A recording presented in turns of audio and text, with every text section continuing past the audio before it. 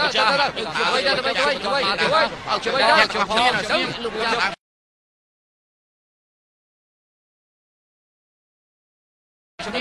មកជួយវិញប្រាប់ពួកគេជប់ភ្លាមមិនអាចធ្វើបាបប្រជារាស្ត្របានគេទេសត្វតែជាប្រជារាស្ត្ររឹងរូសវាយទៅវាយទៅវាយទៅវាយទៅជប់សិនទៅទៅមកជួយវិញអើវាយទៅហាត់បានជាប្រាស់ហិង្សាយ៉ាងនេះបងស៊ូស៊ឺបើមិនធ្វើយ៉ាងនេះពួកគេប្រកាសជាព្រឹកនេះមិនអាចទទួលពួកគាត់បានទេជួយបានប្រមាណគិតប៉ុណ្ណឹងទៅជប់ឲ្យជប់ឲ្យភ្លាមហេតុអីបានជួយវាយពួកខ្ញុំយ៉ាង ពួកឯងមិនគួរធ្វើបាបប្រជារាស្ត្រទងសោះយ៉ាងនេះទេអាយ៉ូអូយជូជូដាទៅទៅវិញទៅ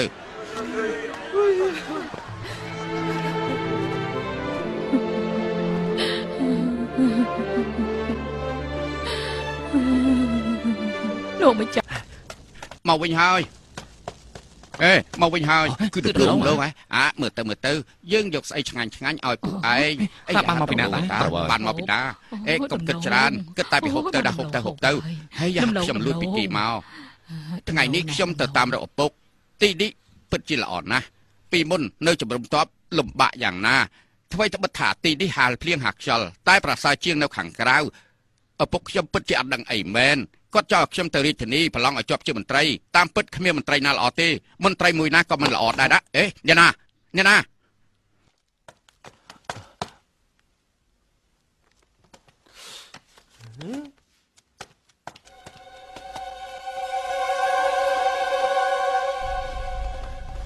លោកបាំងជំរុំតបដែលនៅចម្ងាយពីទីនេះ20យោជន៍ខានប្រើប្រហែលឆ្នាំហើយអឺប្រហែលជា10ឆ្នាំហើយមិនបានជាមិនប្រើ កងតបស៊ីសេចេះតែមកអុកឡុកដូច្នេះរាជការក៏ឲ្យដកមកប្រចាំក្នុងស្រុកវិញអូបងស៊ូស៊ឺបងចង់ធ្វើអីទៀតហើយលោកបងជំនាញខ្ញុំនិយាយការពិតចោះខ្ញុំនឹងឲ្យប្រជារាស្ត្ររងគ្រោះនៅក្នុងជំរំកងទ័ពនេះហើយគឺទេវតាជួយយើងស៊ូស៊ឺកុំឲ្យខុសតទៅទៀតណា ពីម្សិលមិញបងផ្ដាល់ស្បៀងដោយគ្មានការអនុញ្ញាតរាជការមិនទាន់ដេញដោលពីកំហុសបងទេឥឡូវបងឲ្យជនភៀសខ្លួននៅជំរំតបបានន័យថាកសាងភូមិស្រុកថ្មីដោយខ្លួនឯងនោះគឺជាទោសប្រហារលោកជីបងវិតជំនាញលោកបងមិនមែនមិនដឹងឯណាការនៅក្នុងរាជធានីខ្ញុំមានទោសប្រហារជីវិតពីរលើកទៅហើយ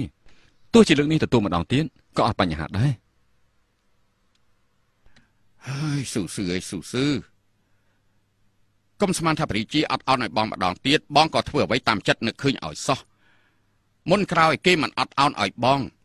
ទោះជាព្រះរាជាសពតិនឹងបងក៏ដោយប្រជារាស្ត្រក៏គេមិនយល់ព្រមដែរសូមបងជឿខ្ញុំទៅល្អជាងលោកបងជំនាញសូមអរគុណលោកបងហើយប៉ុន្តែកិច្ចការសំខាន់របស់ខ្ញុំនៅក្នុងពេលនេះគឺមានតែមួយទេធ្វើយ៉ាងណាឲ្យជនភៀសខ្លួនឈប់អត់បាយនិងឈប់រងាចំពោះរឿងថ្ងៃក្រោយគឺស្រេចទៅលើវាសនាចោះ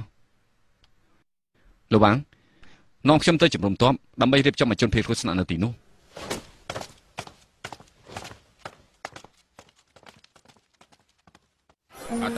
biết mà chẳng nào mà sợ đâu tình yêu đó tình yêu đấy chẳng là chạy vai trò nó là chẳng là chẳng là biết cái này tới cái nào mà sản xuất cái kiểu như đường học kiểu ơi lúc này sợ rồi អមមកមកអត់នេះបាទ1 2 3អើបាទបាទអើចុះចុះចុះចុះណាអេទុបទុបទុ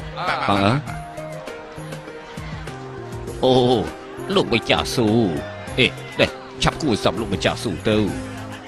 ធំធំណាស់លោកម្ចាស់ម្ដងមិនបានជាមកគួរសមចំពោះលោកម្ចាស់ឆាប់គួរសមចំពោះលោកម្ចាស់ទៅលោកម្ចាស់ស៊ូបងអើទោះជាមន្ត្រីមានល្អមានអាក្រក់ឯងធ្វើអ្វីក៏ដោយក៏មានចិត្តជាទាំងអស់ពេកគិតតែពីខ្លួនឯងមានកន្លែងស្នាក់នៅមិនគិតដល់អ្នកដទៃថាបងប្អូនយើងឃ្លានយ៉ាងណាទៅខ្ញុំមិនហ៊ានថាខ្ញុំជាមន្ត្រីល្អទេប៉ុន្តែឯងក៏មិនគ្រាន់បានជាងខ្ញុំប្រហែលដែរការពិតពួកយើងដូចតែគ្នាទេ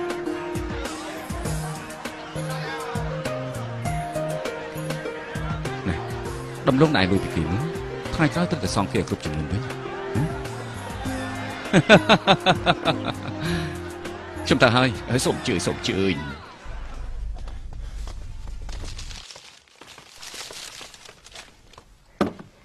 បងស៊ូស៊ឺប្រាក់ទាំងនេះបងយកទៅទិញចំណីឲ្យជនភៀសខ្លួនតែប្រាក់ហ៎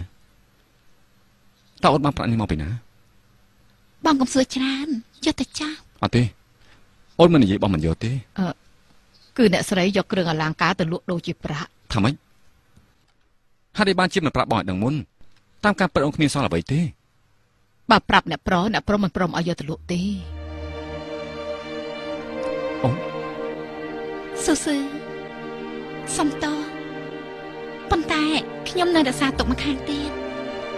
ទោះជាអូនមិនទុកអ្វីមួយក៏ដោយក៏បងមិនបន្ទោសអូនដែរ អូសំឡាញ់បានដល់នឹងអូនធ្វើជាប្រពន្ធស៊ូស៊ឺបងគ្មានអ្វីត្រូវស្អែកក្រោយទេ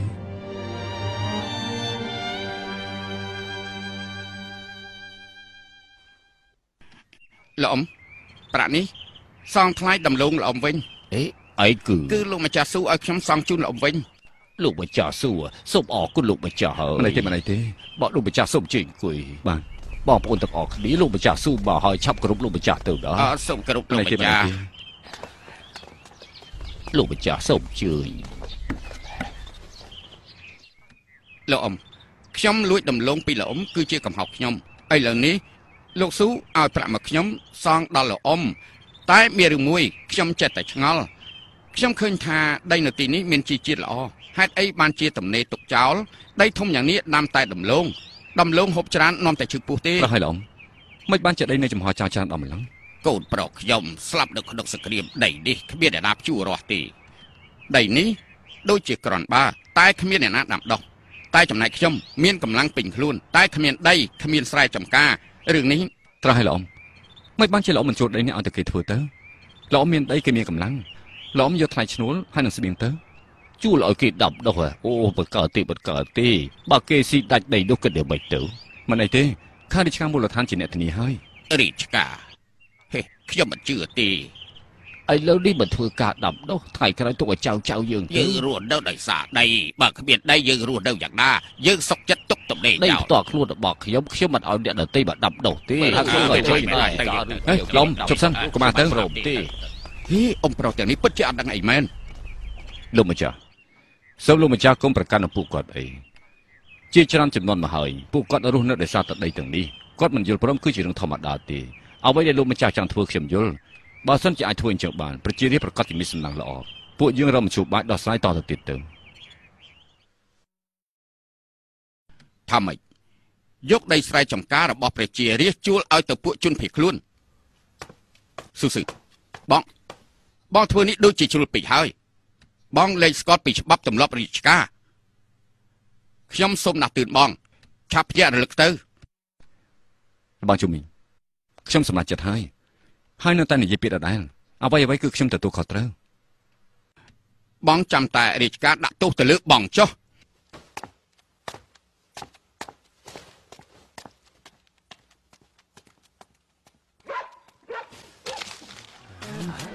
គេមិនប្រកាសថាមិនឯងជួយអានខ្ញុំមិនរាជការត្រូវការជួលដីពីពួកកាយើងរត្រូវការជួលស្រែពីពួកយើងទៅហើយបើសិនជាជួលស្រែពីពួកយើងទៅតែម្ដងគេខ្លាចពួកយើងមិនជួលខ្ញុំមិនជួលទេឬអីទៅជួលស្រែជួលរាជការនោះគេយកស្រែតតតគុំមើលគេមិនបានទេមិនបានទេឈប់មើលទៅ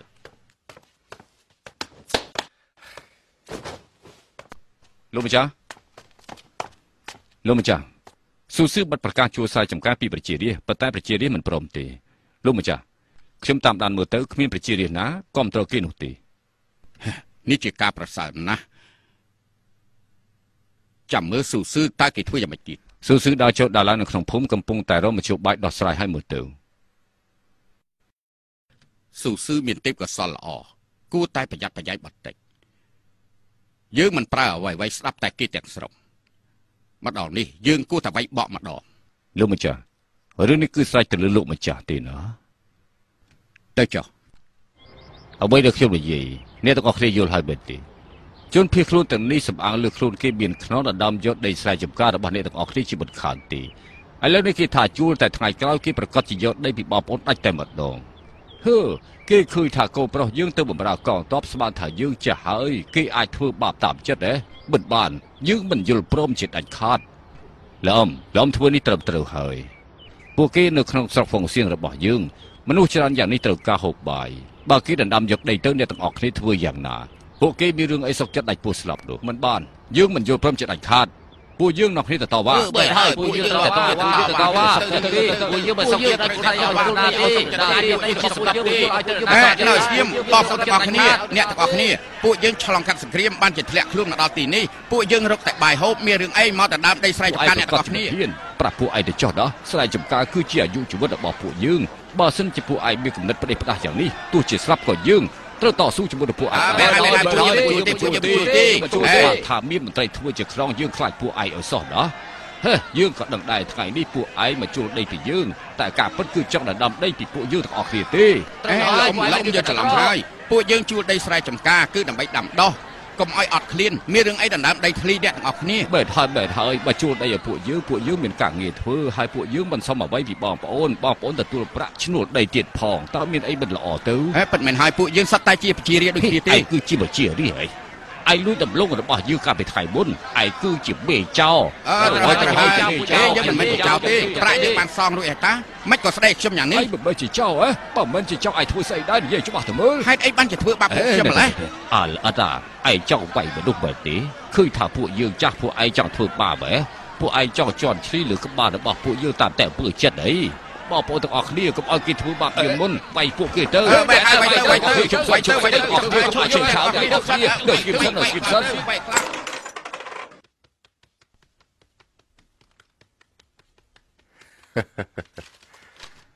វាយឲ្យខ្លាក់ទៅ វាយវាយទៅគាត់ចាំទៅវាយខ្លួនចង់អេវាយអេឈប់សិតអត់ទេអត់ទេវាយទៅវាយទៅជុំឲ្យគេទៅជុំទៅវាយទៅជប់សិតទៅវាយទៅជប់សិតអ្នកទាំងអស់គ្នាតើមានរឿងអីទៅលោកម្ចាស់ខ្ញុំធ្វើការហាមឃាត់ដែរតែពួកគាត់មិនស្ដាប់ខ្ញុំដឹងថាមិនមែនមកពីឯងទេបងប្អូនទាំងអស់គ្នាចំពោះរឿងថ្ងៃនេះខ្ញុំមិនធ្វើការដេញដោលទេសូមបងប្អូនទាំងអស់គ្នាទៅវិញចុះប៉ុន្តែថ្ងៃក្រោយកុំឲ្យមានរឿងបែបនេះកើតឡើងទៀតបានលោកម្ចាស់ អេអ្នកពួកយើងទៅវិញចុះគ្នាទៅវិញទៅវិញទៅទៅវិញទៅតោះពួកយើងទៅវិញ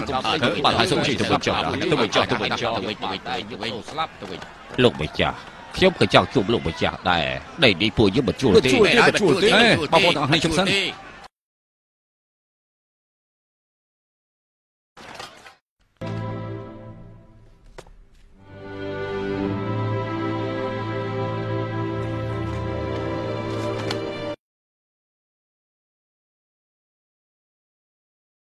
បងប្អូនខ្ញុំវាងអើជាអ្នកជេរគេមុនធ្វើឲ្យមានទំនាស់ខ្ញុំមកសុំទោសបងប្អូនពួកពួកខខ្ញុំខ្ញុំមកសុំទោសមកហើសុំយទោសហើយបងប្អូនទាំងអស់គ្នា ពួកខ្ញុំមកសុំទោសដោយស្មោះណាស់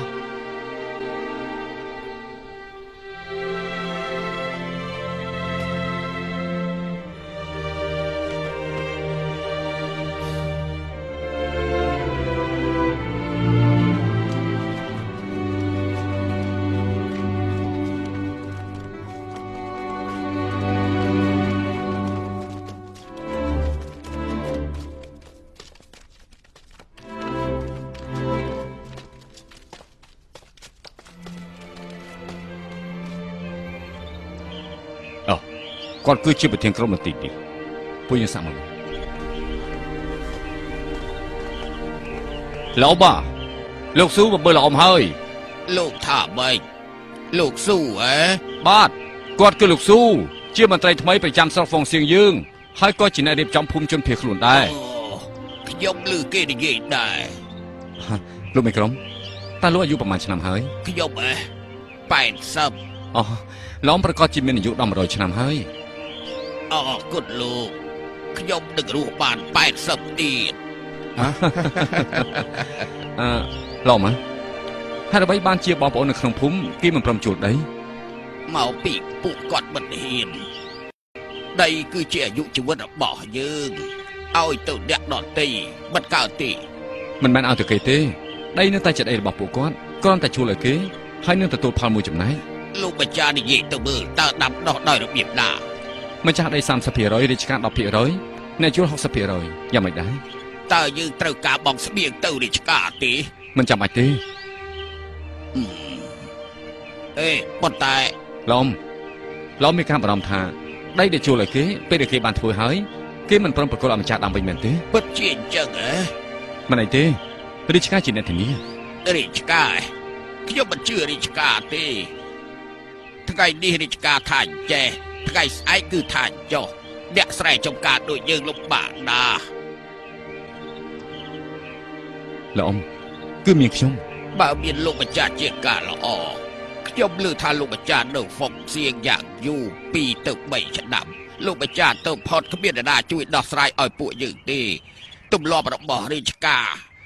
គឺព្រះសង្ឃអង្គណាអានគម្ពីរធម៌មួយនោះបេតបមួយគឺបាត់បញ្ជាមួយ នេះគឺជាការត្រឹមត្រូវណាអោះឡំឡើងចេះចុះអ្នកទាំងអស់គ្នាចុះកិច្ចសន្យារយៈពេល2ឆ្នាំជាមួយនឹងជនភៀសខ្លួនបើសិនជាបានអាចបន្តកិច្ចសន្យាតែបើសិនជាមិនបានទេអាចបញ្ឈប់កិច្ចសន្យាពេលនោះក៏បានដែរលោកស៊ូកិច្ចព្រមព្រៀងនេះ មានប្រសិទ្ធភាពទេលោកអ៊ំខ្ញុំសូមយកឋានៈរបស់ខ្ញុំមកធ្វើការធានាជូនលោកម្ចាស់ខ្ញុំមិនហ៊ានទេ លោកម្ចាស់អាចធ្វើដូច្នេះបាន ឲ្យតែមានលោកម្ចាស់ធានាអះអាងពួកខ្ញុំក៏ជួលលោកម្ចាស់លោកខុសពីអ្នកដតីលោកមានទឹកចិត្តស្រឡាញ់ប្រជារាស្ត្រ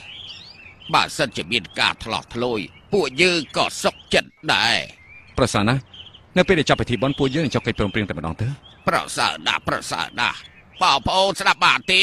លោកស៊ូគាត់ជាមន្ត្រីល្អពួកយើងត្រូវតែស្ដាប់គាត់បបបបនាំគ្នាចេញមកនាំគ្នាចេញមកចេញមកដល់គ្នាចេញមកលោកស៊ូចេញមកចេញមកចេញមកហើយពួកខ្ញុំមកជួលទាំងអស់ណាអេចិត្តតែខ្ញុំក៏ជួលដែរខ្ញុំមកជួលហើយអឺខ្ញុំក៏ជួលដែរអស់អរគុណបងប្អូនទាំងអស់គ្នាខ្ញុំសូមអរគុណហើយ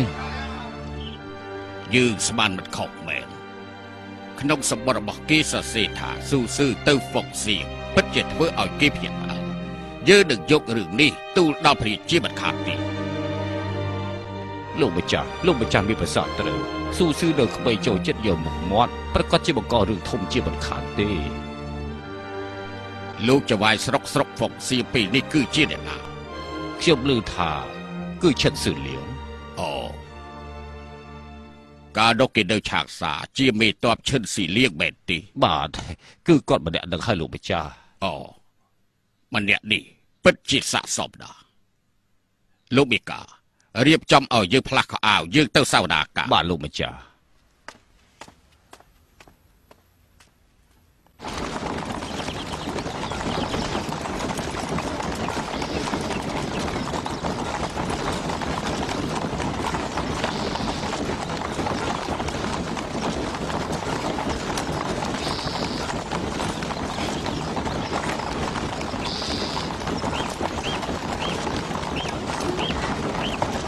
ទីនេះដូចជាវាលរហោឋាន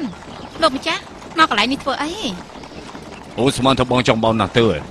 ប៉ុន្តែប្រសើរជាងនៅព្រំដែនពួកស៊ីសែសម្រាប់គ្នារបស់យើងមិនតិចទេណោះលោកម្ចាស់គេមិនមែនបានន័យថាអញ្ចឹងទេលោកម្ចាស់មានកូនច្រើនណាស់មួយថ្ងៃមួយថ្ងៃដឹងតែពីកັບចាក់គ្នាបើលោកម្ចាស់មានគ្រោះថ្នាក់អីនៅសមរភូមិគ្រួសារយើងតែមួយរស់នៅយ៉ាងម៉េចទៅលោកម្ចាស់បានហើយបានហើយមនុស្សស្រីពិតជារអ៊ូច្រើនដែរលោកម្ចាស់ ខ្ញុំលើអ្នកស្រុករបស់លោកម្ចាស់និយាយថាគឺជាស៊ូស៊ឺដែលព្រះរាជាសពតិខ្លាំងណាស់គេពេលនេះជាមន្ត្រីប្រចាំស្រុកហ្វុងសៀងគេគឺជាអ្នកកត់ត្រាលោកជាចវាយស្រុកលោកគួរតែឲ្យគេដឹងខ្លួនមនុស្សក្មេងនេះក្អេងក្អាំងណាស់គ្រាន់តែជាអ្នករៀនសូត្រដែលមិនតាន់ជ្រុះប្រឡេងពីក្បាលវាគ្មានអីគួរអស្ចារ្យនោះទេ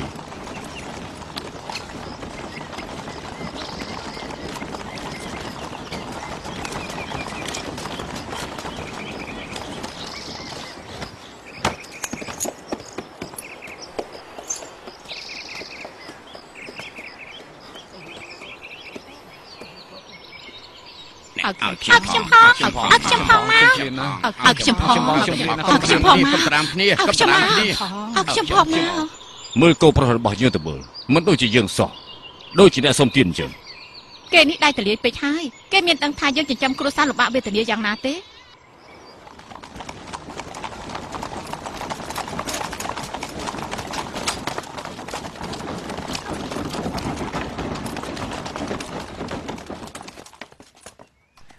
សូមស្វាគមន៍លោកចវាយស្រុកលោកគឺជានរណាជំរាបលោកម្ចាស់ខ្ញុំត្រកូចាំងជាអ្នកកាន់ច្បាប់នៅហ្វុងសៀងឯណាអ្នកកត់ត្រាស៊ូជំរាបលោកម្ចាស់ថ្ងៃនេះគឺជាថ្ងៃដាច់ឆ្នាំលោកស៊ូគាត់ទៅគុកធំដើម្បីធ្វើបញ្ជីពេលដែលពិនិត្យបញ្ជីឈ្មោះរួចរាល់ហើយគាត់នឹងទៅជួបលោកម្ចាស់សំទោសលោកម្ចាស់មានកាយដែរលោកម្ចាស់ប្រាប់ខ្ញុំបានហើយកន្លែងលោកម្ចាស់ស្នាក់នៅរៀបចំរួចហើយសូមអញ្ជើញលោកម្ចាស់ទៅសម្រាប់ពួកខ្ញុំនឹងទៅរកលោកម្ចាស់តាមក្រោយ លោកម្ចាស់សូមអញ្ជើញ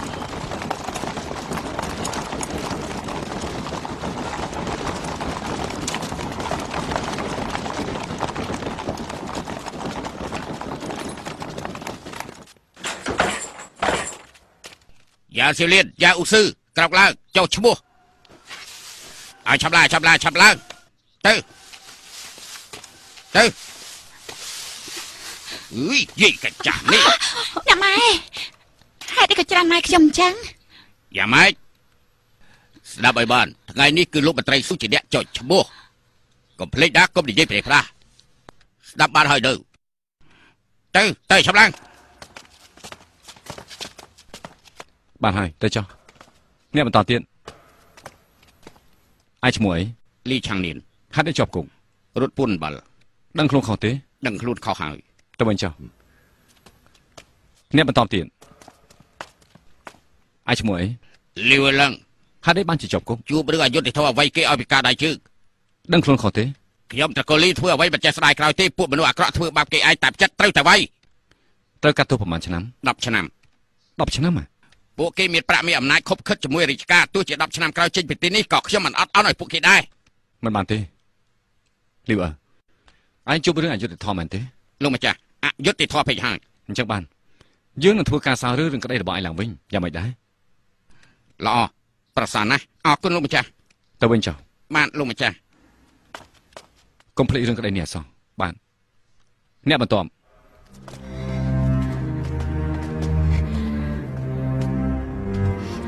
លោកម្ចាស់អ្នកទៅពីឈ្មោះអីខ្លះខ្ញុំឈ្មោះយ៉ាងអ៊ូស៊ឺខ្ញុំយ៉ាងសៀលៀន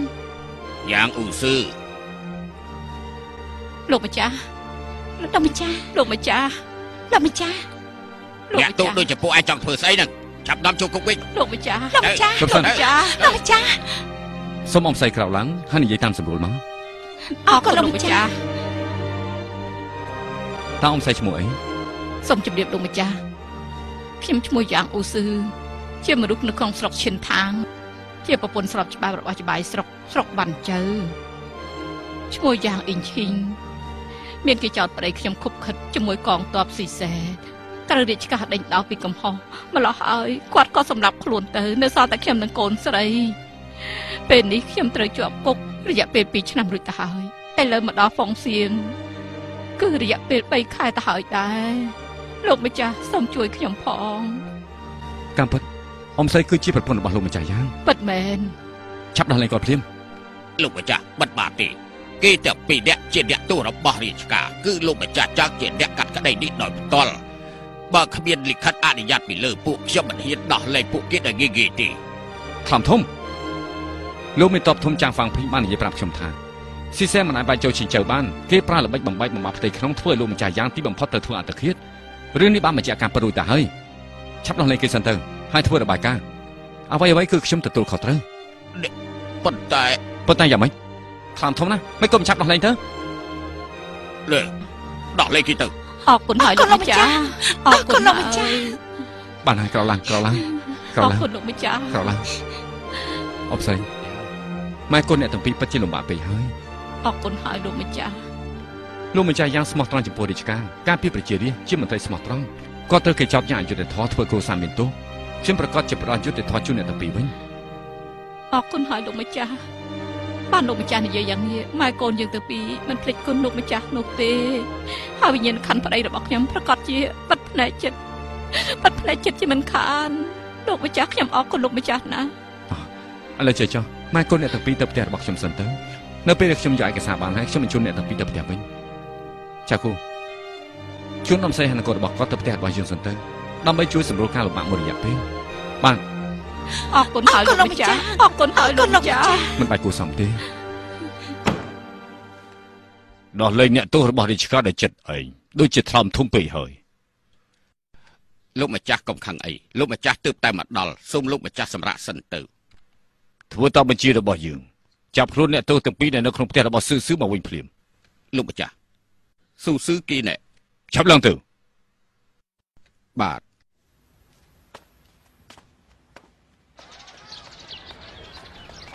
ហេរបស់ជុំមីងមិនបានជាបញ្ញាប់យ៉ាងនេះបងស៊ូស៊ឺខ្ញុំមានការចាប់បាច់លាសិនហើយលីហើយ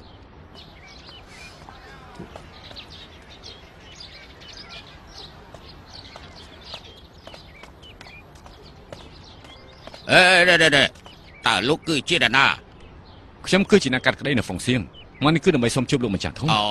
ការពិតគឺលោកស៊ូហ៎លោកម្ចាស់ខ្ញុំនិយាយហើយអត់តំណេទេលោកទៅវិញសិនចោះ អត់ទំនេរមែនហើយយប់ដាច់ឆ្នាំរវល់តែចូលឆ្នាំម្យ៉ាងទៀតលោកម្ចាស់យើងទើបតែមកដល់ហ្វុកសៀងត្រូវតែរៀបចំឲ្យបានស្រួលបួលសិន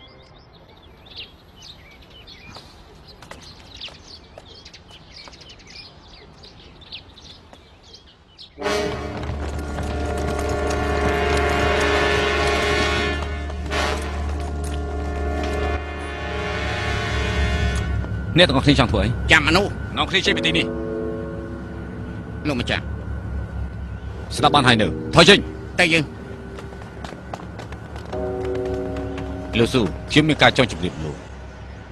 ចូលក្នុងនិយាយគ្នាទៅ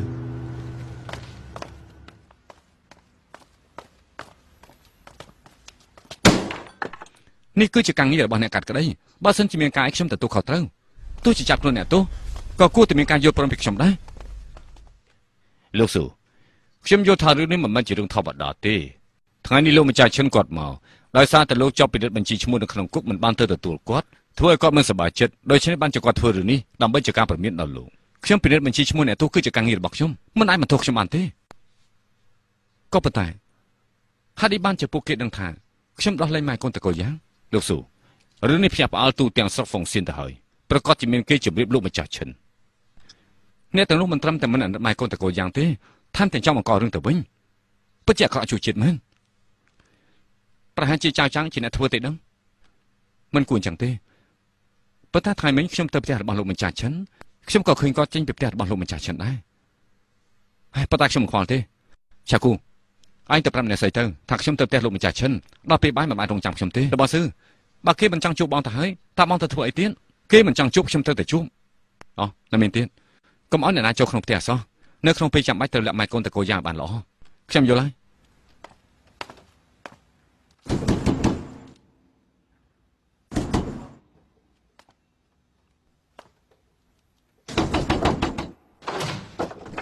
លោកស៊ូគឺលោកទៀតហើយហ៎លោកម្ចាស់យើងរវល់ណាស់ហេជប់សិន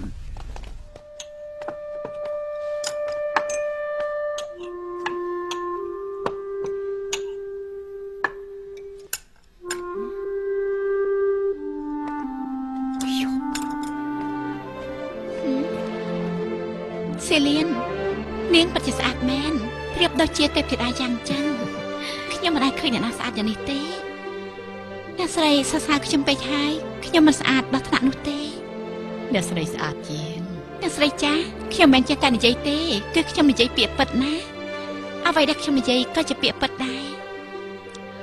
បើសិនជាព្រះជាយាយដឹងហើយប្រកាសជាជ្រើសរើសនាងជាព្រះជាយាយមិនខានអ្នកមីងខ្ញុំមិនចង់ធ្វើជាព្រះជាជាទេសេលៀនអាយុប្រហែលហើយ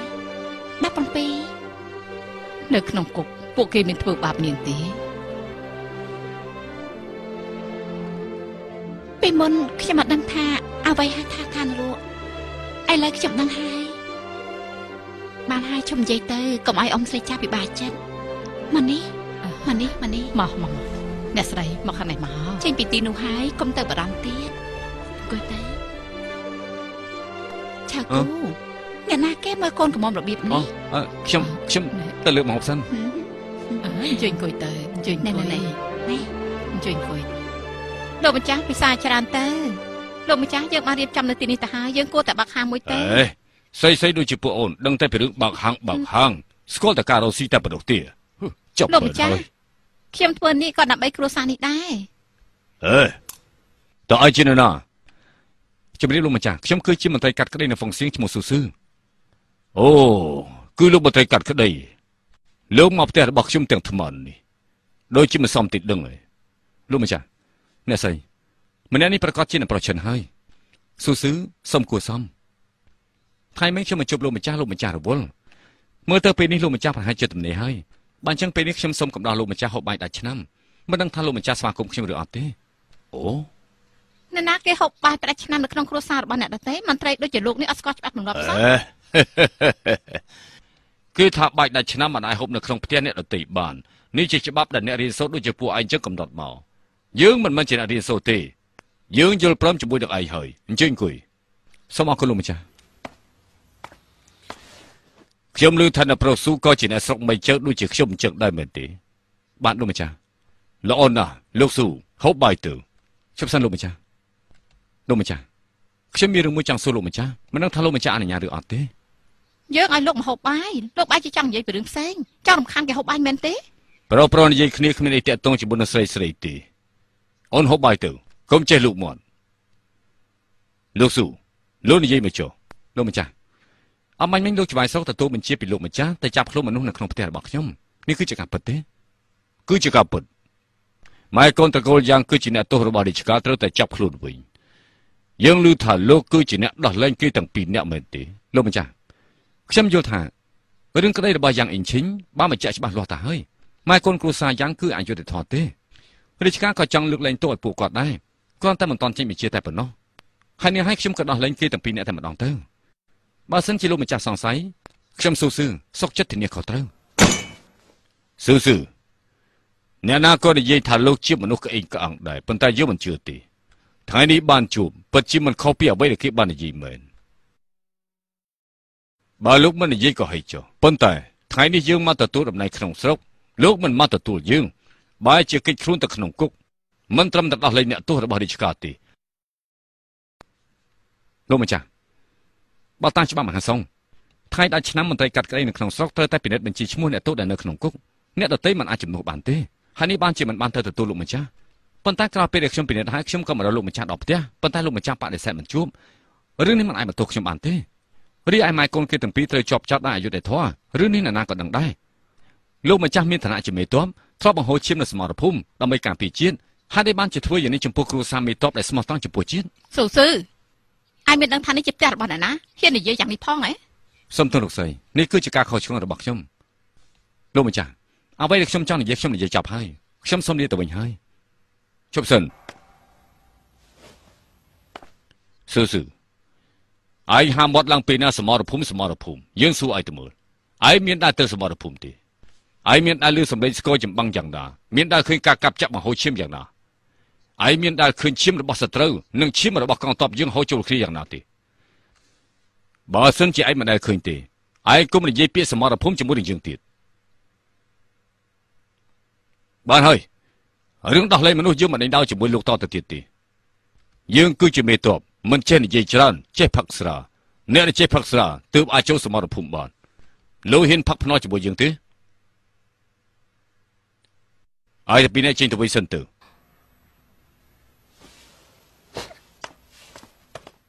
យកស្រាមកអ៊ំស្រីយ៉ាងពួកយើងទៅតែមកហ្វុងសៀងគ្មានអ្វីទទួលសូមមេត្តាអធិស្ឋានអ្នកស្រីអ្នកស្រីទទួលម៉ែកូនយើងទាំងពីរពួកយើងមិនភ្លេចគុណនោះទេពួកយើងនឹងចងចាំជានិច្ចពួកយើងមិនចាំបាច់ចាំស៊ូស៊ឺទេមកមកពេលនេះខ្ញុំតំណាងឲ្យស៊ូស៊ឺ គោរពជូនដល់លោកមេតបចាងព្រមទាំងកងទ័ពដែលទទួលពលីនៅព្រំដែនសូមឲ្យគេទាំងអស់គ្នាបានសុខអ្នកស្រីខ្ញុំមិនដឹងថាគួរនិយាយយ៉ាងម៉េចទេ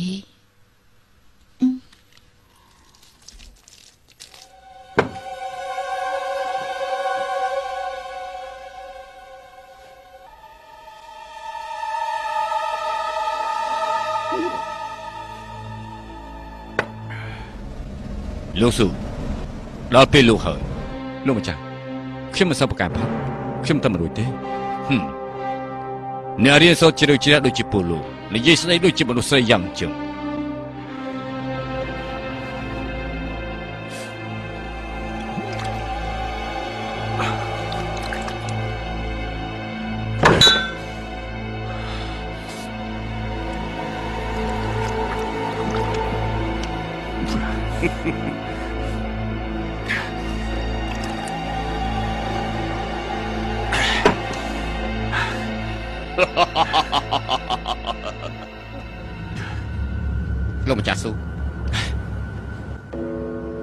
ទៅលោកស៊ូត្រូវតែខំរៀនផឹកស្រាប់ផងហ៎យកភ្លើងប្រប៉ែមក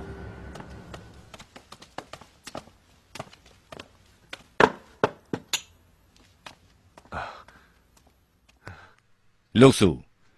មកដល់តំបន់ពីយប់រឿងអីមិនភ្លក់សាច់ប្រប៉ែដែលនៅមានឈាមស្រស់ស្រស់មានតែហូបសាច់នេះទេទើបធ្វើឲ្យមានកម្លាំងកំហែងក្នុងខ្លួន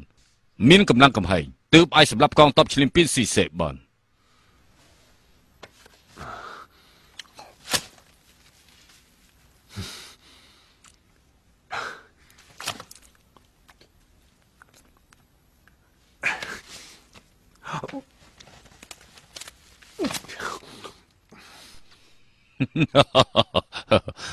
លោកសួរ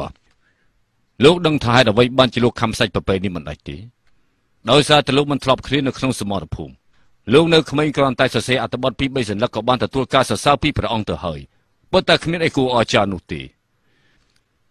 ចំណែកយើងយើងបានចេញវិជាកងតរបស់យើងឈរស្ងៀមមិនកម្រើក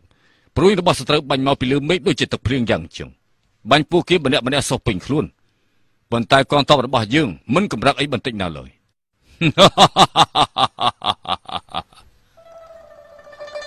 ខ្ញុំសៀលៀនសូមជូនស្រាអ្នកទាំងអស់គ្នាខ្ញុំសូមនិយាយពីរបីម៉ាត់សូមអ្នកទាំងអស់គ្នាកុំសាច់ច្បោកខ្ញុំអីខ្ញុំសៀលៀនសូមជូនពរលោកម្ចាស់មានអនាគតល្អសូមឲ្យអ្នកស្រីស្អាតជានិច្ចហើយក៏សូមឲ្យអ្នកមីងកាន់តែចាស់ទៅកាន់តែមាំ សូមឲ្យបងឆៅគូមានកម្លាំងខ្លាំងក្លាសូមឲ្យគ្រួសារទាំងមូលបានសុខរហូត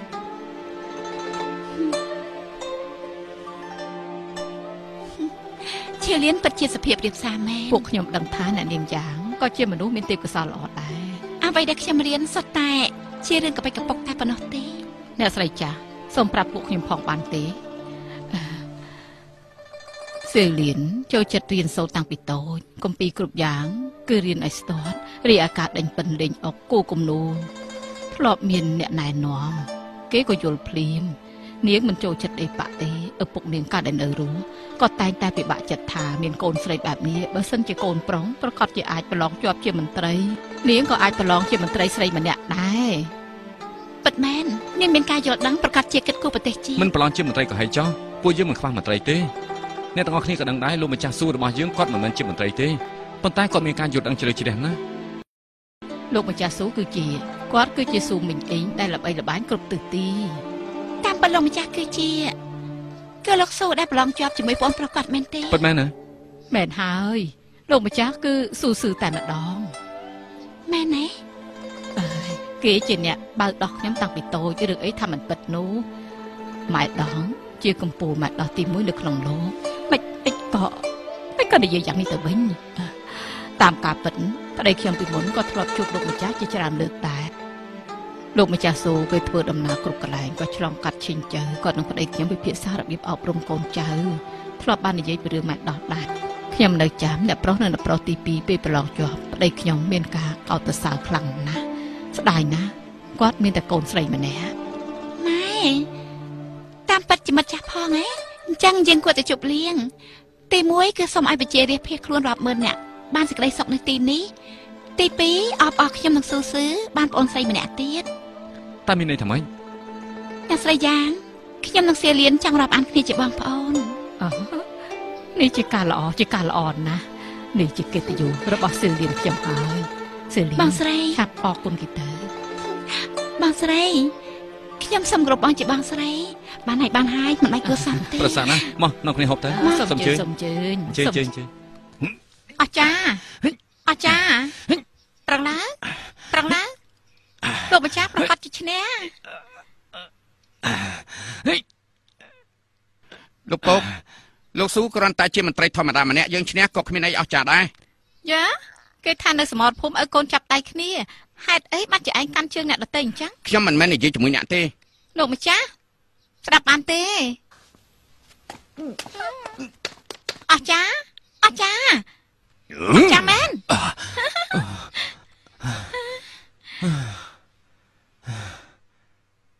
លោកស៊ូខ្ញុំជាអ្នកឈ្នះហើយ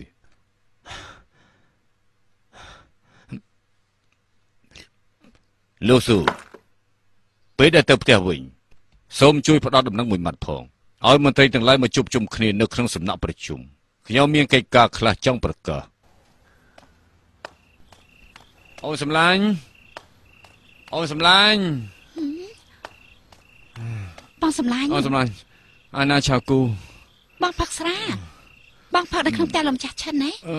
បងមិនប្រកែកទេចៅគូហេតុអីបានជាបងចៅគូបានហើយបានចៅហើយគូ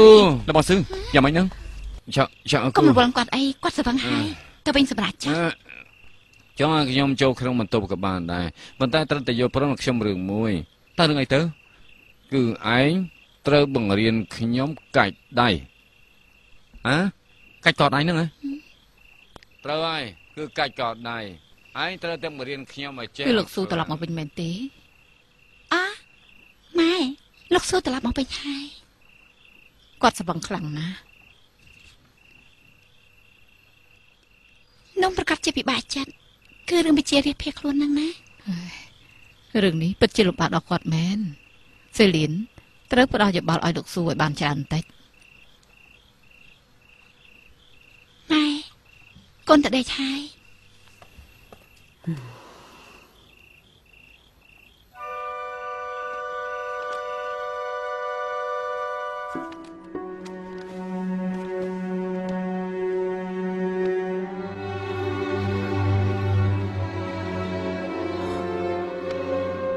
អ្នកលោកស៊ូ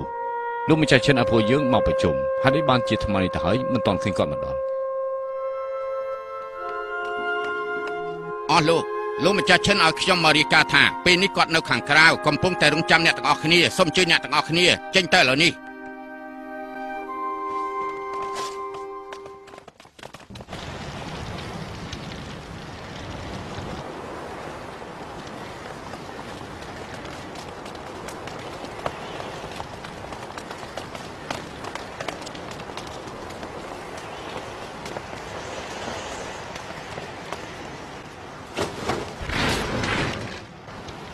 យើងមិនប្រជុំនៅសាលាស្រុកបែរជាមកទីនេះធ្វើអីត្រូវបាទមានវេលេខហើយឲ្យទឹកខ្ញុំបានដេកថាម៉េចពួកយើងប្រកាសជាវេទនាធំហើយ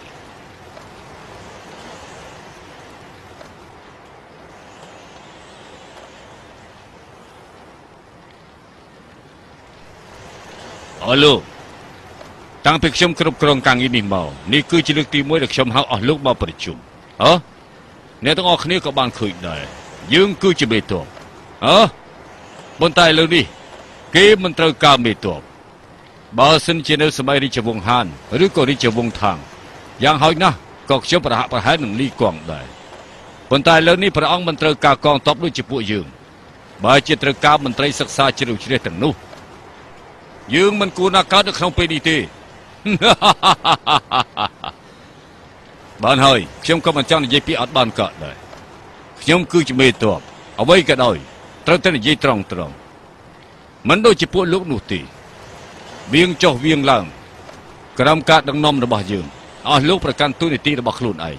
កុំធ្វើអ្វីតាមចិត្តដោយមិនគោរពច្បាប់ មានតែបញ្ជាកងទ័ពឯកភាពតែមួយប៉ុណ្ណោះអញ្ចឹងទើបអាចគ្រប់គ្រងហ្វុងសៀងបានល្អខ្ញុំនិយាយចប់ហើយតើអស់លោកណាមានយោបល់អ្វីទេ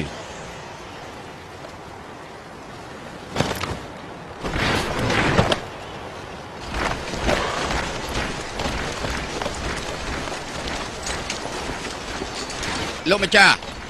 ពងសៀងជាទីតាំងសំខាន់នៅពីជាប់តាំងពីយូរលង់មកហើយគឺជាទីតាំងដែលគេចង់ដណ្ដើមលោកម្ចាស់ឈិនកាន់កាប់តំបន់ផ្សេងផ្សេងៗឲ្យលើមកកាន់កាប់ហ្វុងសៀងនោះប្រកាសជាមានអត្តន័យជ្រៅណាស់ពួកយើងប្រកាសជាបំពេញតួនាទីមិនឲ្យលោកម្ចាស់អស់សង្ឃឹមនោះទេអឺមល្អល្អណាស់ យើងឮថាលោកម្ចាស់ធ្លាប់ជាមេតបពួកយើងទាំងអស់គ្នាស្ថិតក្រោមការដឹកនាំរបស់លោកម្ចាស់ពិតជាសំណាងល្អរបស់ពួកយើងពួកយើងប្រកាសជាគោរពតាមបញ្ជារបស់លោកម្ចាស់លោកម្ចាស់លោកម្ចាស់ឲ្យខ្ញុំទៅកើតខ្ញុំមិនទៅលេចទេលោកម្ចាស់ឲ្យខ្ញុំវាយឆ្កែខ្ញុំមិនចាប់បន់ទេមានអ្វីដែលគួរឲ្យសើចសម្ដីមិនពិរោះតែសមហើយសមផលលោកស៊ូតើលោកមានយោបល់យ៉ាងណា អ្នកសិក្សាដោយពួកយើងមានអ្វីគួរនិយាយទៀតខ្ញុំយល់ពីអត្ថន័យរបស់លោកម្ចាស់នេះគឺជាការងារណាអមាញ់មិញលោកម្ចាស់សៀននិយាយហើយឲ្យគាត់តលិចគាត់តលិចឲ្យគាត់ទៅកាត់គាត់ទៅកាត់ឲ្យគាត់បាយឆ្កែគាត់បាយឆ្កែអញ្ចឹងខ្ញុំសូមបន្ថែមពីរឃ្លាទៀតលោកចង់ឡើងលើមេឃខ្ញុំតជាចន្ទាលោកចង់ធ្វើស្ដេចខ្ញុំជំទាស់ដាច់ខាតលោកស៊ូយើងឮថាលោកបាក់ឃ្លាំងចៃស្បៀងទៅប្រជារាស្ត្រដោយគ្មានការអនុញ្ញាត ហើយកសាងភូមិជនភៀសខ្លួនព្រមទាំងជួលដីធ្លីឲ្យជនភៀសខ្លួនធ្វើទៀតតើមែនទេនេះគឺជាការពិតណាស់ខ្ញុំនឹងរៀបចំរបាយការណ៍ជូនលោកម្ចាស់រីឯពេលនេះស្បៀងអស់ទៀតហើយសូមលោកម្ចាស់មេត្តាបើកឃ្លាំងចៃស្បៀងលោកថ្លំធំពេកហើយលោកចង់ឲ្យយើងបើកឃ្លាំងសម្រាប់លោកមែនទេតែលោកដឹងទេថារឿងទាំង3ដែលលោកនិយាយនេះសុទ្ធតែជាទោសប្រហារជីវិតទាំងអស់ឬមួយថាលោកមិនចង់រស់លោកម្ចាស់ខ្ញុំគ្រាន់តែជម្រាបការពិតតែប៉ុណ្ណោះទេយើងបាននិយាយហើយ បញ្ជាគឺឯកភាពត្រូវតែគោរពតាមបញ្ជាលោកធ្វើអ្វីខុសច្បាប់យើងមិនខົບខិតជាមួយលោកនោះទេឬមួយថាលោកចង់ធ្វើបាបទាំងយើងទៀតយើងប្រាប់លោកឲ្យច្បាស់នៅស៊ូស៊ឺពីពេលនេះតទៅបញ្ជារបស់លោកទាំងប្រមាណនៅសោះហ្វុងសៀនត្រូវតែបញ្ឈប់ជាបន្ទាន់យើងមិនជាឲ្យគេបិទភូមិជនភៀសខ្លួនចោលហើយមើលទៅពេលនេះប្រហែលជារស់រើអស់ហើយលោកនិយាយថាម៉េច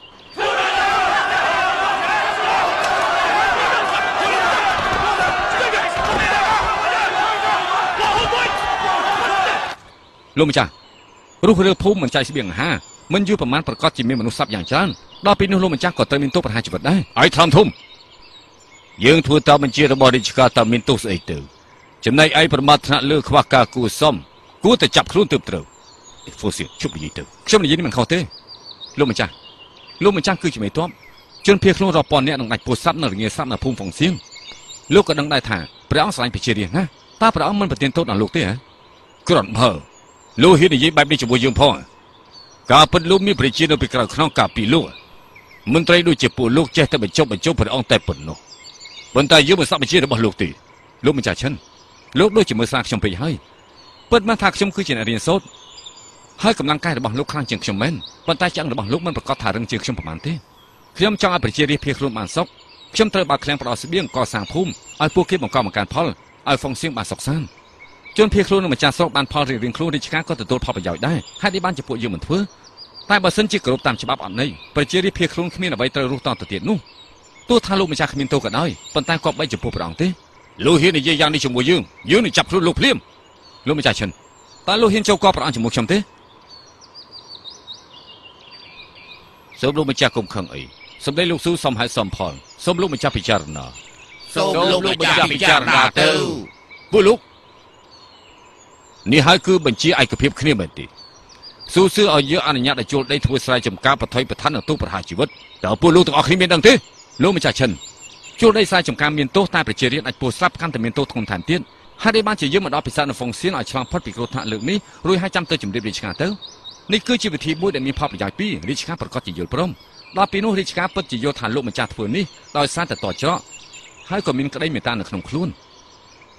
លោកម្ចាស់មិនត្រឹមតែគ្មានកំហុសទេថែមទាំងមានស្នាដៃទៀតផងលោកជាអ្នកដោះស្រាយការស្លាប់រស់របស់ប្រជារាស្ត្រប្រជារាស្ត្រប្រកាសជាទុកលោកដូចជាឪពុកម្ដាយនេះហើយគឺជាអំពើបុណ្យដ៏ធំធេងរបស់លោកនិយាយពីរសស្ដាប់ណាស់ដល់ពេលនោះបើសិនជាព្រះអង្គប្រទានទោសមកយើងមានអីតាក់ទោជាមួយលោកមិនបានទេលោកម្ចាស់ខ្ញុំសូមយកជីវិតរបស់ខ្ញុំមកធានាបើរឿងនេះបានជោគជ័យជាស្នាដៃរបស់លោកបើសិនជាមានទោសស៊ូស៊ឺខ្ញុំជាអ្នកទទួលខុសត្រូវម្នាក់ឯងលោកនិយាយថាម៉េចនិយាយម្ដងទៀតទៅ ខ្ញុំសូមយកជីវិតមកធានាបើសិនជារឿងនេះបានសម្រេចគឺជាស្នាដៃរបស់លោកម្ចាស់បើសិនជាមានទោសស៊ូស៊ឺខ្ញុំជាអ្នកទទួលម្នាក់ឯងស៊ូស៊ឺអ្នកណាក៏ថាព្រះរាជាសពតិចំពោះលោកណាស់ដែរលោកមិនគួរកៃកាងដល់មលងទេលោកមិនខ្លាចព្រះអង្គមែនព្រះអង្គពិតជាអត់អស់នៃលោកប៉ុន្តែយើងមិនជឿទេតែយ៉ាងណាក៏ដោយយើងសុខចិត្តសាកល្បងជាមួយលោកស៊ូស៊ឺតើលោកហ៊ានធ្វើកិច្ចសន្យាជាមួយយើងទេឲ្យតែលោកម្ចាស់យល់ព្រមស៊ូស៊ឺនឹងធ្វើកិច្ចសន្យាជួយលោកម្ចាស់ព្រាម លោកអូនណាយើងធ្វើកិច្ចសន្យាជាបទបញ្ជាទ័ពទៅទៅសាលាស្រុក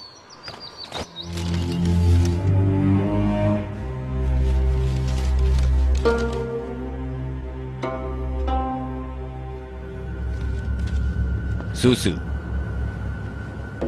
អ្វីដែលលោកធ្វើនេះអត់តាក់ទងជាមួយនឹងយើងបន្តិចណាទេ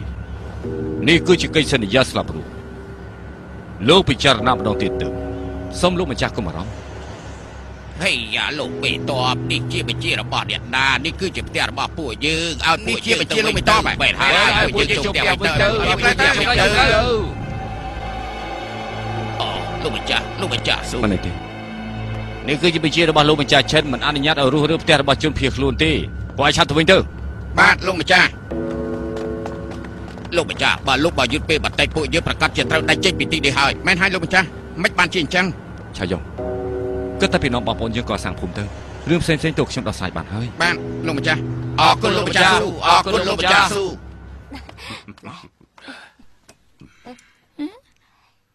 លោកម្ចាស់ពិសាមហូបឲ្យច្រើនកុំពិសាស្រាច្រើនពេកឡហេតុអីលោកម្ចាស់សប្បាយចិត្តម្ល៉េះស៊ូស៊ឺក្អេងក្អងតែនៅចំពោះមុខយើងគេត្រូវតែស្ដាប់យើងគេបានចុះកិច្ចសន្យាហើយអ្វីដែលគេបានធ្វើគេទទួលខុសត្រូវបើសិនជារាជការអត់ទោសអត់តាក់ទោសជាមួយនឹងបងទេ លោកម្ចាស់ពិតជាឆ្លៀសវៃស៊ូស៊ឺមិនអាចប្រៀបបានទេខ្ញុំមានដំណឹងល្អចង់ជម្រាបលោកម្ចាស់ហាងរបស់យើងជិតដល់ពេលសម្ពោធទៅហើយថ្ងៃសម្ពោធប្រកាសជាចំណេញប្រាក់បានច្រើនណាស់ល្អប៉ុន្តែយើងជាមន្ត្រីជាន់ខ្ពស់ច្បាប់រាជការមិនអនុញ្ញាតឲ្យបើកហាងទេអូនកុំធ្វើអ្វីហួសហេតុពេកអីសោះចាចាលោកម្ចាស់និយាយត្រូវខ្ញុំយល់ហើយលោកម្ចាស់ហឹមលោកពុកខ្ញុំបានលើរឿងរបស់ស៊ូស៊ឺទៅហើយ ខ្ញុំយល់ថាស៊ូស៊ឺគឺជាមនុស្សស្លូតត្រង់យល់ដឹងច្បាស់ចិត្តស្រឡាញ់ប្រជារាស្ត្រព្រះជាសពតិចំពោះគាត់នេះគឺជាការពិតពុកមិនត្រូវប្រកាន់នឹងគាត់ត្រូវតែទទួលស៊ូស៊ឺនេះជាសំណាងល្អរបស់ពុកនៅស្រុកហ្វុងសៀងអាយ៉លោកម្ចាស់ខ្ញុំដូចជាមិនយល់សោះមនុស្សគ្រួសារតកូលឈិនណាហេតុអីបានជាកាន់ជើងអ្នកក្រៅយ៉ាងនេះទៅវិញលោកម្ចាស់ប្រហែលថ្ងៃនេះខ្ញុំគិតរួចហើយស៊ូស៊ឺផ្ដាល់ស្បៀងជួលដីស្រែចម្ការកសាងភូមិថ្មីថ្មីត្បិតថាខុសនឹងទំនៀមទម្លាប់ចាស់ តែវាជារឿងច្បាប់ថ្មីមួយម្យ៉ាងទៀតធ្វើយ៉ាងនេះដើម្បីដោះស្រាយជនភៀសខ្លួនឲ្យប្រជារាស្ត្ររៀនសូត្រតាមពុកមិនត្រូវហាមឃាត់គឺត្រូវតែគ្រប់ត្រូវគាត់លោកម្ចាស់លោកម្ចាស់ស្ដាប់បានទេតែប្រុសយើងកំពុងតែបដៅលោកម្ចាស់ហើយឲ្យកូនយើងនិយាយគ្នាអ្នកកុំលុកមាត់លោកម្ចាស់ឃើញទេនៅក្នុងគ្រួសារនេះខ្ញុំគ្មានសិទ្ធិអីនិយាយជាមួយគេទេនេះអាយ៉ាកូនប្រុសយ៉ាងណាក៏គេចំាយចុងរបស់ឯងដែរកូ នអកតញ្ញូណាស់តាំងពីស្រីនេះចូលផ្ទះយើងមកគ្រួសារយើងមិនដែលបានសុខទេគាត់មិនមែនគិតគូពុកទេ ពីមុខគាត់លួងលោកពុក តែបែរជាលួចបាក់ហាងចិត្តលុបលុនគឺគ្មានបំណងល្អនោះទេកូនប្រុសឯងមិនយល់ពីការងាររាជការហើយក៏មិនដឹងទឹកចិត្តរបស់ពុកនៅក្នុងគ្រួសារយ៉ាងណាដែរកូនពិតជាមិនយល់មែនពុកប្លែកណាស់ឥឡូវនេះពុកមិនដឹងខុសត្រូវធ្វើអ្វីៗតាមចិត្តស្រឡាញ់ស្រីនឹងប្រាក់ ប្រនេះផ្ដាស់មែនឯងកំពុងតែនិយាយជាមួយអ្នកណាបើសិនជាខ្ញុំធ្វើឲ្យពុកខឹងយ៉ាងនេះខ្ញុំគិតថាកំជួបល្អជាង កូនលាសិនហើយ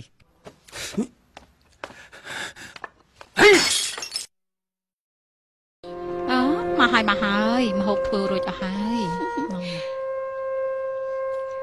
នេះគឺហឹមនេះគឺសៀលៀនខ្ញុំសម្រេចចិត្តថាប្រិយប្រពន្ធយើងទទួលនាងធ្វើជាប្អូនចាស់ ប៉ោសៃស៊ីលៀនពិតជាប្លែកមែនល្អណាស់ខ្ញុំកំពុងត្រូវការប៉ោសៃម្នាក់បងប្រុសបងស្រីបងស្រីខ្ញុំសុំក្របងទាំងពីរមិនបាច់គួរសមទេមកពួកយើងនាំគ្នាហូបបាយទៅណាហេអានអ្នកស្រីយ៉ាងមកហើយមកហើយអ្នកស្រីមកហើយហ៎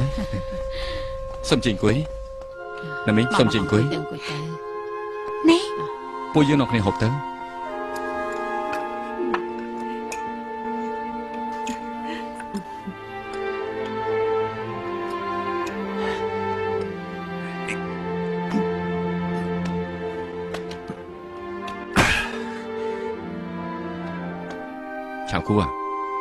តុតែបានជាសម្លឹងមើលខ្ញុំយ៉ាងនេះខ្ញុំមើលបងមកយប់ទៅហើយតែខ្ញុំដូចជាមិនយល់ថាបងគឺជាទេវតាទេ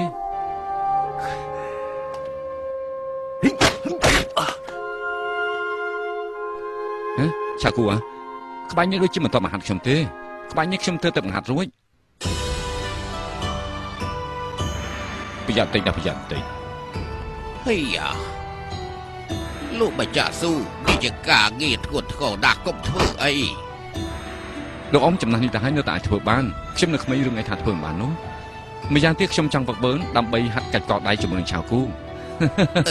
អបបបខ្ញុំទុកកញ្ចក់បាទបានហិច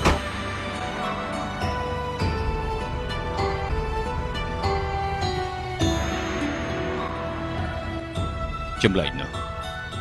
ស៊ូស៊ឺចុះកិច្ចសន្យាស្លាប់រស់ទៅហើយមិនក៏គេបន្ភ័យហើយបែរជាសប្បាយចិត្តទៅវិញ លោកម្ចាស់មិនទាន់ដឹងស៊ូស៊ឺចរិតគឺអញ្ចឹងមិនចេះខ្លាចទេ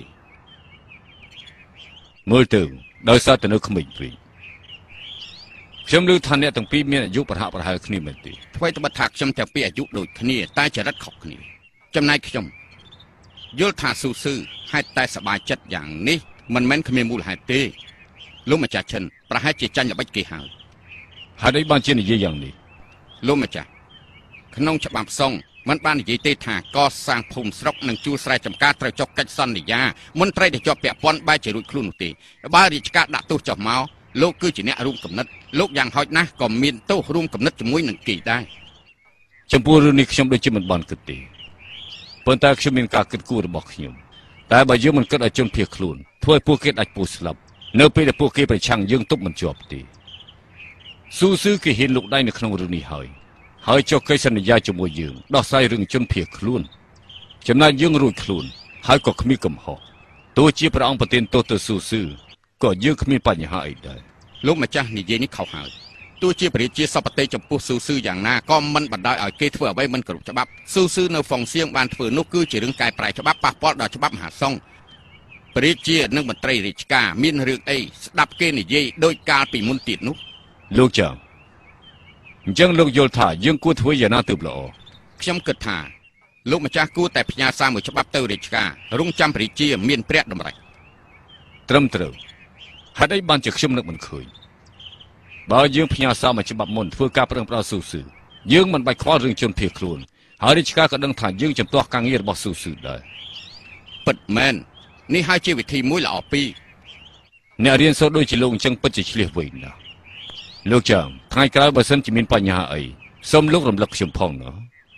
ខ្ញុំនឹងបម្រើលោកម្ចាស់គ្រប់យ៉ាងប្រឹងប្រែងឡើងប្រឹងប្រែងឡើងស៊ូប្រែងឡើងប្រឹងឡើងប្រឹងឡើងប្រឹងឡើងប្រឹងប្រែងឡើងប្រឹងប្រែងឡើងប្រឹងឡើងប្រែងឡើងប្រចាំឡើងប្រឹងឡើងប្រឹងឡើងប្រឹងឡើងប្រឹងប្រែងឡើងប្រឹងប្រឹងអូប្រឹងប្រឹងប្រឹងប្រឹងប្រែងឡើងប្រឹងឡើងប្រឹងប្រឹង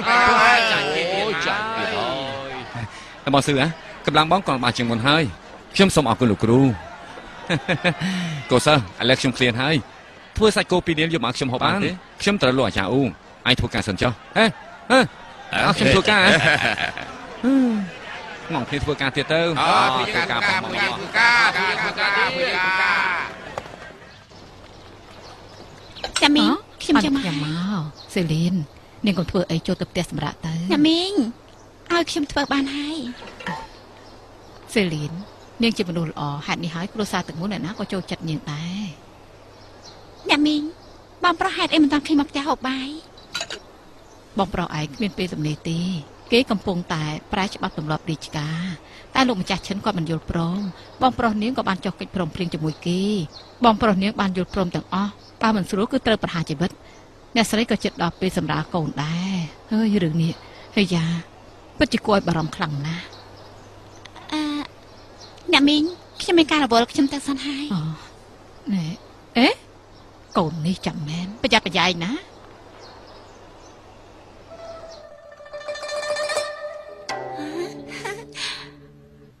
សៀលៀនកូននេះធាក់ខ្ញុំទៀតហើយបងស្រីតាមមើលឃ្លានទៀតដឹងអីអូយកូននេះគ្មានដឹងអីមែនក្នុងផ្ទាំងស្ទើរអស់ស្បៀងទៅហើយសៀលៀនបើបងកើតបានកូនស្រីសូមឲ្យដូចឯងសុភាពរៀបសារឲ្យរំទុំមានចំណេះដឹងច្រើនចេះគិតគូរគ្រប់បែបយ៉ាង បងស្រីកុំអាប់ខ្ញុំពេកអូសម្លាញ់សេលៀនបងសម្លាញ់អង្គុយចុះទៅមិនបាច់ក្រោកឈរទេបងអង្គុយទៅបងឆាគូអេសៀលៀនកុំអានទៅណាអ្វីដែលនាងប្រាប់បងនិយាយប្រាប់បងប្រុសឯងទៅមើលកុំអីបងស្រីខ្ញុំខ្មាស់មាត់ណាមិនអីទេនិយាយឲ្យគាត់ដឹងដែរទៅសេលៀនណាមានការនេះនិយាយមិនចង់ណាណែសៀលៀនល្ងងសុំលោកកុំបន្ត សៀលៀនកុំហៅថាលោកហៅបងប្រុសទៅបានហើយចាបងប្រុសខ្ញុំយល់ថាបងបម្រើការងារស្រុកហ្វុងសៀងជាកិច្ចការដែលគេសរសើរគ្រប់គ្នា តែបងចុះកិច្ចព្រមព្រៀងជាមួយលោកម្ចាស់ឈិនវាគឺជារឿងខុសច្បាប់របស់រាជការគេនឹងតិះទៀនបងមនុស្សអាក្រក់នឹងយកធ្វើជាលេសបងប្រុសឆាប់យករឿងនេះជម្រាបដល់រាជការសុំការអនុញ្ញាតពីរាជការទៅហើយយ៉ាខ្ញុំស្ទើរតែភ្លេចបាត់ទៅហើយ អរគុណបងស្រីដែលបានរំលឹកខ្ញុំទៅសរសេរឥឡូវនេះស៊ូស៊ឺកូនប្រុសលោកម្ចាស់ឈិនមកដល់ហើយគាត់ថាចង់ជួបឯងទៅជិះគាត់មកចាសូមអញ្ជើញចូលមកចាស់អរគុណលោកម្ចាស់ស៊ូឈិនចៅសូមគោរពលោអ្នកកប្រុម្សចាមិនស់ចាំបាច់គួរសមទេសេលៀននាំអ្នកស្រីទៅសម្រាប់ទៅចាអ្នកប្រុសឈិនសូមអញ្ជើញលោកម្ចាស់ស៊ូសូមអញ្ជើញ ថ្ងៃនោះខ្ញុំបានជួបទេពកោសលដ៏អស្ចារ្យរបស់លោកម្ចាស់ស៊ូគួរឲ្យសរសើរខ្ញុំមិនពេញចិត្តនៅអ្វីដែលពុកខ្ញុំបានធ្វើម្ល៉េះហើយខ្ញុំនៅបាច់ពីគាត់ខ្ញុំក៏ឆ្លៀតពេលអ្នកមប្រុសករឈិនលោកមិនគួរធ្វើអញ្ចឹងទេខ្ញុំឮថាលោកស៊ូបានចុះកិច្ចសន្យាជាមួយនឹងពុកខ្ញុំនេះគឺជារឿងសច្ចធម៌លោកទទួលកំហុសចំនួនឪពុកខ្ញុំគឺមកពីឪពុកខ្ញុំល្ងងខ្ញុំសូមអរគុណលោកខ្ញុំសូមថ្វាយបង្គំលោកហេហើយអ្នកប្រុសឈិនក្រោកឡើងក្រោកឡើងឬមួយថាលោកម្ចាស់ស៊ូយល់ថាឪពុកខ្ញុំធ្វើខុសមិនចង់រាប់អានខ្ញុំឯទេមិនគួរធ្វើអញ្ចឹងទេខ្ញុំឈិនចៅធ្លាប់តែហាត់គុណ ខ្ញុំឮ